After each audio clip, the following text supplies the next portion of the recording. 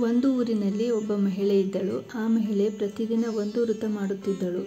ಅದು ಪ್ರತಿದಿನ ರೊಟ್ಟಿ ಮಾಡಿ ತನ್ನ ಮನೆಯ ಕಿಟಕಿಯ ಬಳಿ ಇಡುತ್ತಿದ್ದಳು. ಅವಳ ಬಯಕೆ ಯಾರಾದರೂ ಅತಿಥಿಗಳು ಆ ರೊಟ್ಟಿ ತಿಂದು ತನ್ನ ಮನೆತನಕ್ಕೆ ಶುಭ ಬಯಸಲಿ ಎಂಬುದು ಆಗಿತ್ತು. ಅವಳ ಸಾತ್ವಿಕ ಬಯಕೆಯಂತೆ ಆ ರೊಟ್ಟಿಯನ್ನು ಒಬ್ಬ ಸಾಧು ಪ್ರತಿದಿನ ತೆಗೆದುಕೊಂಡು ಒಂದು ಮಾತು ಹೇಳಿ ಹೋಗುತ್ತಿದ್ದ. ಆ ಮಾತು, ನೀನು ಒಳ್ಳೆಯದನ್ನು ಮಾಡಿದರೆ ನಿನಗೆ ಒಳ್ಳೆಯದು ಆಗುತ್ತದೆ. ನೀನು ಕೆಟ್ಟದ್ದನ್ನು ಮಾಡಿದರೆ ನಿನಗೆ ಕೆಟ್ಟದ್ದು ಆಗುತ್ತದೆ ಎಂದು. ಆ ಮಹಿಳೆಯ ಒಬ್ಬನೇ ಮಗ ಮನೆ ಬಿಟ್ಟು ಓಡಿ ಹೋಗಿದ್ದ ಅವನು ಬರಲಿ ಎಂದು ಇವಳು ಪ್ರತಿದಿನ ಪರಮಾತ್ಮನಲ್ಲಿ ದುಃಖಿಸಿ ಪ್ರಾರ್ಥನೆ ಮಾಡುತ್ತಿದ್ದಳು. ಅವಳು ಪ್ರತಿದಿನ ರೊಟ್ಟಿ ಮಾಡಿಕೊಡುವ ವೃತ ಮಾತ್ರ ಯಾವುದೇ ಕಾರಣಕ್ಕೂ ಬಿಡಲಿಲ್ಲ. ಪ್ರತಿದಿನ ಅದೇ ಸಾಧು ಅದೇ ಮಾತು ಹೇಳಿ ರೊಟ್ಟಿ ತೆಗೆದುಕೊಂಡು ಹೋಗುತ್ತಿದ್ದ. ಈ ಸಾಧುವಿನ ವರ್ತನೆ ಮತ್ತು ಅವನು ಹೇಳುವ ಮಾತು ಆ ತಾಯಿಗೆ ಇಷ್ಟವಾಗದೆ ಒಂದು ದಿನ ಅವಳು, ನಾನು ಪ್ರತಿದಿನ ಈ ಸಾಧುವಿಗೆ ರೊಟ್ಟಿ ಕೊಟ್ಟರೂ ನನ್ನ ಮಗ ಮರಳಿ ಬರಲಿಲ್ಲ.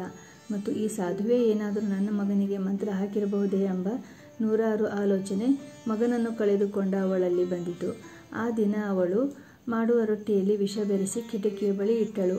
ಸ್ವಲ್ಪ ಸಮಯದ ನಂತರ ಒಂದು ವರ್ಷದಿಂದ ಅತಿ ನಿಸ್ವಾರ್ಥ ಭಾವದಿಂದ ಸೇವೆ ಮಾಡಿದ ಅವಳ ಸಕಾರಾತ್ಮಕ ಮನಸ್ಸು ಹೃದಯ ಅವಳಿಗೆ ಹೇಳಿತು, ನೀನು ಮಾಡಿದ್ದು ತಪ್ಪು ಎಂದು. ತಕ್ಷಣ ಅವಳು ಆ ವಿಷದ ರೊಟ್ಟಿ ತಂದು ಒಲೆಯಲ್ಲಿ ಹಾಕಿ ಸುಟ್ಟು ಬೇರೆ ಒಳ್ಳೆಯ ರೊಟ್ಟಿ ಮಾಡಿ ಕಿಟಕಿಯ ಬಳಿ ಇಟ್ಟಳು. ಎಂದಿನಂತೆ ಸಾಧು ಬಂದು ರೊಟ್ಟಿ ತೆಗೆದುಕೊಂಡು ಮತ್ತೆ ಪ್ರತಿದಿನದ ಮಾತನ್ನೇ ಹೇಳಿದ. ನೀನು ಒಳ್ಳೆಯದನ್ನು ಮಾಡಿದರೆ ನಿನಗೆ ಒಳ್ಳೆಯದೇ ಆಗುತ್ತದೆ. ನೀನು ಕೆಟ್ಟದ್ದನ್ನು ಮಾಡಿದರೆ ನಿನಗೆ ಕೆಟ್ಟದ್ದೇ ಆಗುತ್ತದೆ ಎಂದು ಹೇಳಿ ಹೋದನು. ಅವಳು ತನ್ನ ಮಗನನ್ನು ನೆನೆಸಿಕೊಂಡು ಜೋರಾಗಿ ಅತೀವ ದುಃಖದಿಂದ ಅಳುತ್ತಾ ಕುಳಿತಿರುವಾಗ ಮನೆಯ ಬಾಗಿಲು ಬಡಿಯುತ್ತಿರುವ ಶಬ್ದ ಕೇಳಿಸಿ ಬಾಗಿಲು ತೆರೆದು ನೋಡುತ್ತಾಳೆ. ಆಶ್ಚರ್ಯ. ಕಳೆದು ಹೋದ ತನ್ನ ಮಗ ಪ್ರತ್ಯಕ್ಷ ಆಗಿದ್ದಾನೆ ಒಂದು ಕಡೆ ಆನಂದ, ಮತ್ತೆ ದುಃಖ. ಕಾರಣ, ಅವನು ಸೊರಗಿ ಅವನ ಬಟ್ಟೆಗಳು ಹರಿದು ಹೋಗಿದ್ದವು. ಅವನು ಎಷ್ಟು, ಊಟ ಮಾಡದೆ ಎಷ್ಟೋ ದಿನ ಆಗಿತ್ತು ಎಂಬುದನ್ನು ಅವನನ್ನು ನೋಡಿ ತಿಳಿದುಕೊಂಡ ಅವಳು ಅವನ ಕತೆ ಕೇಳಲು ಆರಂಭ ಮಾಡಿದಳು. ಅವನು ತಾನು ಮಾಡಿದ ತಪ್ಪನ್ನು ನೆನೆದು ಬೇಸರದಿಂದ ತನ್ನ ಎಲ್ಲ ಕತೆ ಹೇಳಿ ಕೊನೆಗೆ ಹೇಳಿದ, ಅಮ್ಮ, ಇಂದು ಬೆಳಗ್ಗೆ ನಿನ್ನನ್ನು ನೋಡಲೇಬೇಕು ಎಂಬ ಹಂಬಲದಿಂದ ನಾನು ಓಡಿ ಬರುತ್ತಿರುವಾಗ ಬಿದ್ದು ಬಿಟ್ಟೆ ಮೂರು ದಿನದಿಂದ ಊಟ ಮಾಡಿರಲಿಲ್ಲ.